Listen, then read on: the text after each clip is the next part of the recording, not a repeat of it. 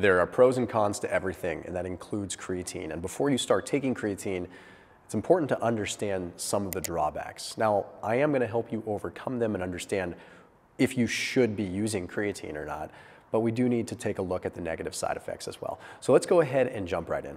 Hey, after today's video, 30% off discount link for Thrive Market. They are an online membership-based grocery store. That link down below is getting you to 30% off literally your entire grocery order plus a free $50 gift. So if you grocery shop, like you're a normal human that goes to the store and gets groceries, it really makes sense to give them a shot because A, you get 30% off, B, it gets delivered to your doorstep, and C, the foods that they have are foods that are better than what's at the grocery store. Plus, they have some of the same foods at the grocery store. They just actually vet them out. So they do the work for you in terms of making sure the foods that are there are sorted by particular category, like keto, sugar-free, um, whether they're vegan, paleo, whatever, does all that work for you. Like imagine walking into Safeway or Kroger or Publix or something and being like, hey, there's a sign that says keto. Hey, there's a sign that says sugar-free. Hey, there's a sign that says vegan. And you just go that way and go down that aisle and it's got everything. That's the way they are. So anyway, that link is down below. Check them out after this video. Okay, the first one, the one that we really need to address is, is it a steroid? Is it actually going to be negative in that effect? The short answer is no. Okay, we have to address this one first and foremost. And I know it's not like a typical con, but it's a common misconception. It is not like a steroid. It is not exogenous energy. It is not exogenous muscle building. Okay, what creatine is, is something that helps you refill your existing stores or your natural ability to hold creatine. So we get creatine when we eat steak, we get creatine when we eat salmon, and we have a natural like level that we can get to. Unfortunately, most of us do not get to that level. Some of us do. Some of us eat enough meat, some of us produce enough endogenously that we actually fill our creatine stores up and maybe supplementing wouldn't give us much benefit.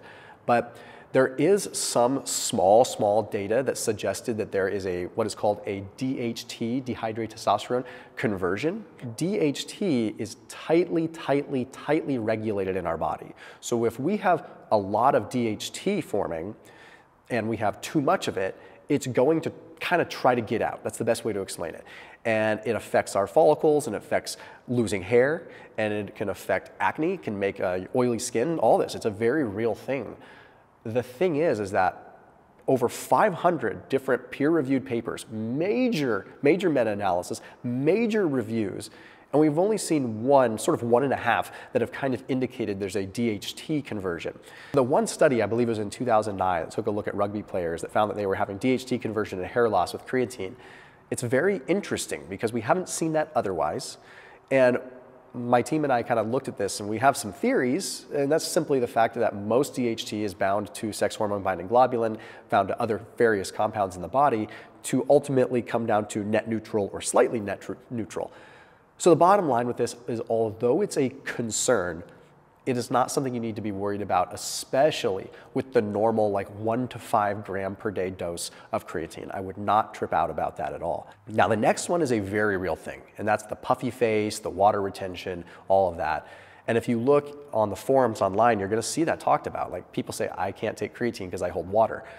The reality is, is that most people that start holding subcutaneous water are probably taking compounds that have creatine in it, but also have a lot of sugar, also have a lot of other things in it too.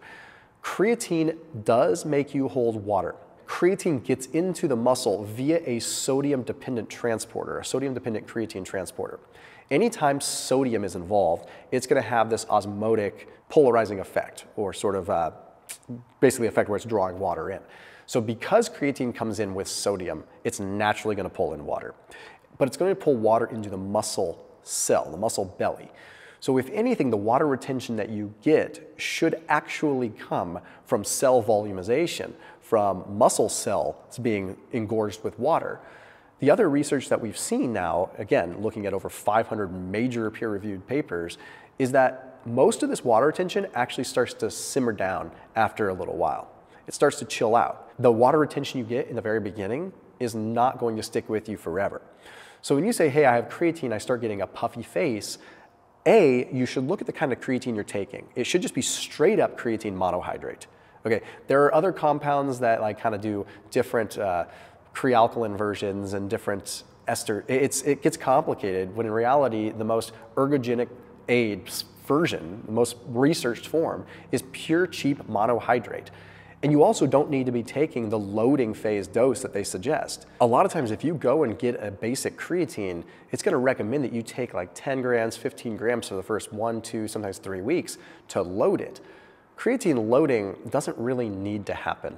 It, you certainly can, it might increase your stores a little faster, but you increase your risk of water retention, and especially if that particular brand has carbohydrates with it, because carbohydrates can improve the uptake of creatine. We've seen this in the literature. So what that means is a lot of brands will add, say, 30 grams or 40 grams of carbs for every five grams of creatine.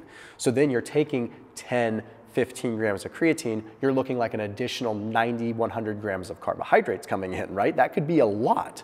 And what does that do? Well, those extra carbohydrates can certainly make you retain water. So you have to really look at what the cause is. What I would typically recommend is like one to three grams of creatine to start, five if you're really training hard and depleting those stores a lot. And you can take less on days you eat more meat. Say, okay, I got up this morning, I had steak and eggs, and then I had a burger for lunch, and then I had a ribeye for dinner. You probably don't even need to take creatine that day. But say tomorrow you have maybe some eggs and then you have a salad and then maybe you have some soup. Yeah, you might want to take creatine that day. Now the other piece that we have to address, and it's a big, big drawback, is there's about a 20% chance, up to a 30% chance that you are what is called a creatine non-responder. And up until recently, we didn't know this was even a thing.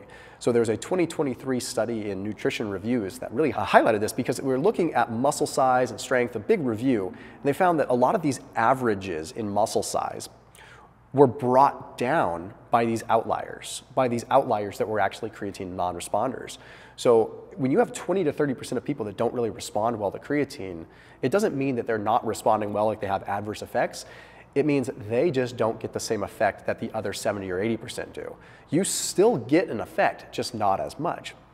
Now the research is kind of speculative, but it's suggesting that people that naturally produce less creatine have developed an adaptation to get by with less creatine. So you've become more efficient at not needing creatine, perhaps synthesizing fuel from uh, glycogen stores a little bit faster, being able to create creatine in a different way. So because of that, when you add creatine in exogenously via supplement, the body's just kind of like, meh, I don't really need it. I'm not really asked to use it all the time. So if you don't use it, you lose it kind of thing. Now, what we have to question is that if you were to add creatine in for longer periods of time, do you start to become a responder again? And again, the baseline important information we have to have here is that even a non-responder can still have a nice increase in performance, in strength, in mental function, in even recovery by having this in place. They're just not going to respond as well. So I say this because some people say, I take creatine and nothing happens. I take creatine and it didn't really work. It's not worth it. That's not true. It's not that it's not worth it. Maybe you're just one of the 20 or 30% that doesn't respond as well. The last thing that I want to touch on really quick is that it's not super beneficial if you're just like a recreational uh, endurance athlete. It's not going to help you with your endurance work. And the only reason that it might start to help you is from a recovery aspect and lowering inflammation when you start increasing your mileage, running more, doing you know longer than like 60 minute bouts of endurance work. Otherwise, it's not really helping you there. But it's still helping you cognitively and it's still helping you with energy because creatine is not a muscle building supplement, it's an energy building supplement. So as always, keep it locked in here on my channel. See you tomorrow.